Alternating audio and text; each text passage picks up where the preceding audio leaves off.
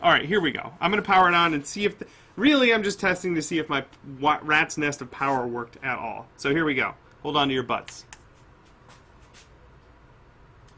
Oh my god. All right, they are all lit up. yes!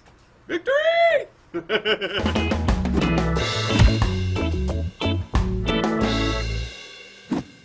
Greetings, fellow makers. Welcome down to the shop. I'm Bill, and we are live from the shop here in our lovely basement. Today, I've got a neat project that we're working on.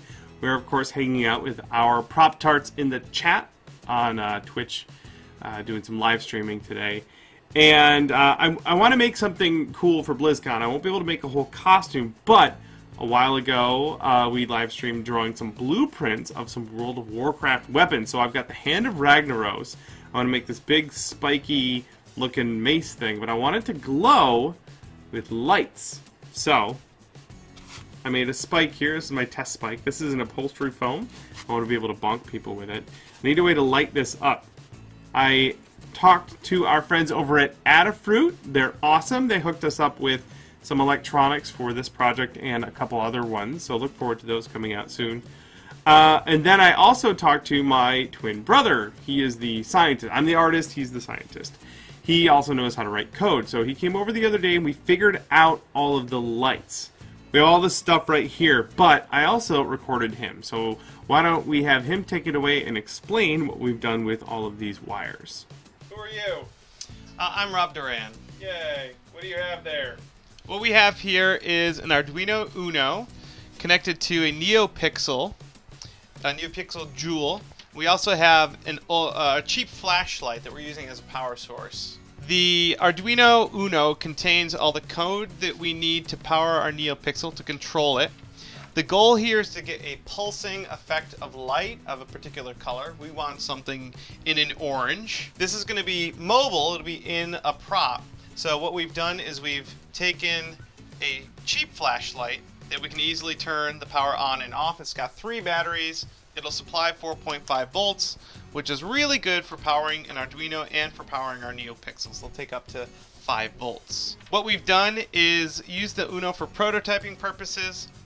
We'll move on to a Trinket, a Trinket Pro, I believe for uh, actual incorporation into the prop. We've written code to pulse the light after initializing our fancy pixel uh, NeoPixel jewel. The code loops itself over and over again, dimming and brightening our lights. And our goal is to put several of these into the hand of, hand of Ragnaros Sulfuras and to have it glow and fade as if it's, you know, burning with some kind of elemental energy. Again, we'll add a few different zones to this and they'll kind of pulse and fade uh, a little irregularly with each other, so it's not just one giant pulse. And uh, that will all be controlled by different code, uh, pushing out to, to different pins on the Arduino. So there's our thing. We got our Arduino, we have our NeoPixel lights, we've got wires and everything. The main thing I need to do today is wire all of these lights together especially the power, so that then we can hook them all up to our little guy here. We've got the little NeoPixel, or uh, this is the Arduino uh, Pro Trinket.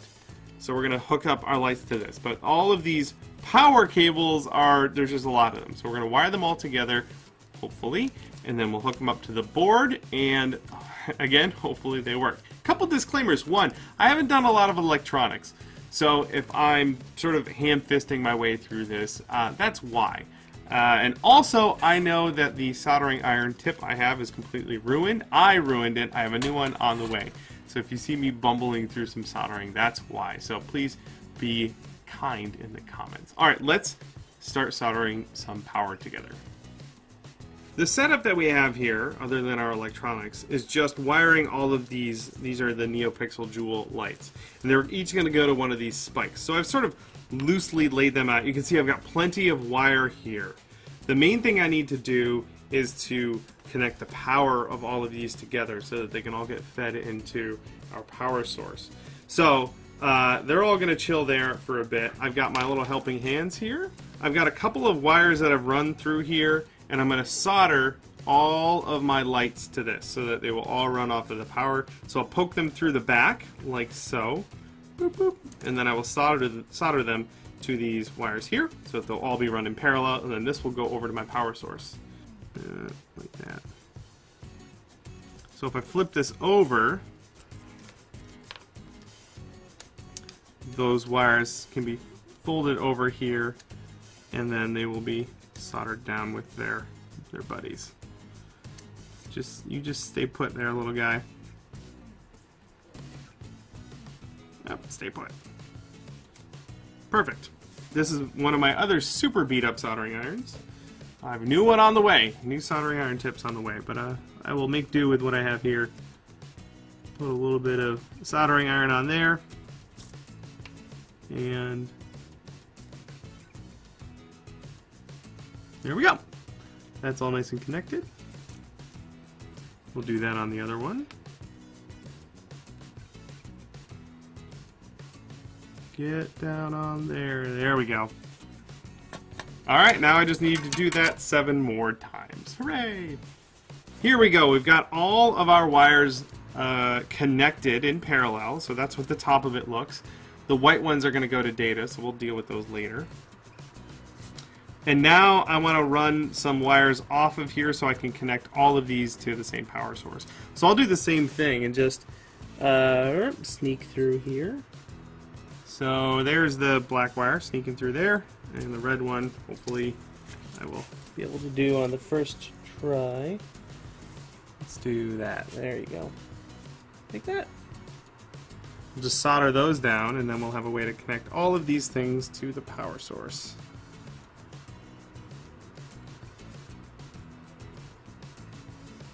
Everything's wired up. We should be able to power them with these two wires. Victory! Alright, here we go. I'm going to power it on and see if... The, really, I'm just testing to see if my rat's nest of power worked at all. So here we go. Hold on to your butts.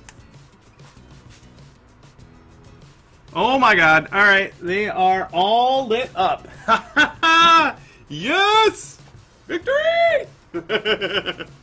they are all pulsing the same. I can't even look at that, it's so bright. They are all pulsing the same and they are all lit up. And nothing seems to be janky or flickery, which means I think I soldered it pretty well. Yes. Alright, now I'm going to swap that over to these LEDs, uh, to their, their things, and see if they pull separately. They should. They should. So I've moved uh, all of the data uh, wires into their respective pins on the Arduino. Eventually these will be soldered into the little guy here. But, here we go. We're going to turn this on and see if this works. Okay, they all lit up. Nope, this one didn't light up. Hold on. I do know that if the data doesn't uh, connect, then it won't turn on.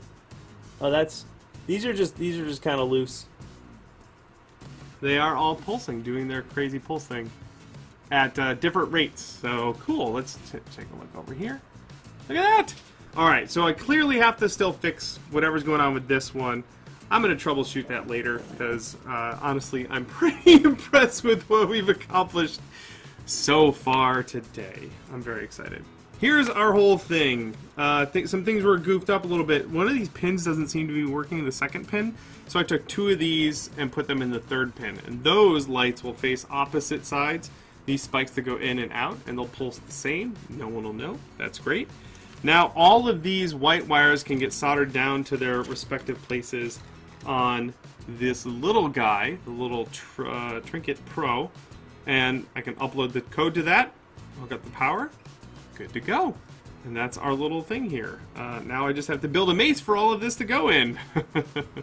hey gang, thanks so much for hanging out with us today in the shop and watching me bum bumble my way through uh, some electronics here. I am really excited. This is a whole new world for me um, doing this cool, glowy, pulsy, lighty thing. I want to thank my brother Rob very much for helping out with the uh, the coding and uh, getting some of the wiring done. And I want to thank you guys for hanging out with us on Twitch. We do the From the Shop streams every Tuesday at noon Pacific. Come join us, come hang out. We've got a bunch of our regulars in there today, uh, providing a bunch of color commentary and even a little bit of helpful advice.